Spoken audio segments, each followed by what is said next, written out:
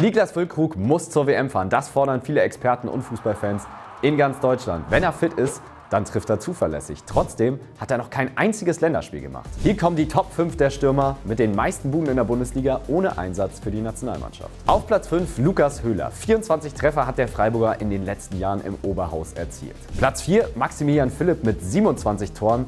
Der spielt aber aktuell beim VfL Wolfsburg so gut wie gar keine Rolle. Rang 3 belegt Davy Selke mit 34 Treffern für Werder Bremen, RB Leipzig und seinen aktuellen Club Hertha BSC. Und Niklas Füllkrug steht nicht auf Platz 1. Den belegt nämlich er hier. Florian Niederlechner mit 40 Bundesligatoren führt er die Liste knapp vor Füllkrug an, der 36 Treffer auf dem Konto hat. Was Füllkrug selbst zu einer möglichen DFB-Nominierung sagt, das hat er uns im exklusiven Interview bei Was geht Bundesliga verraten.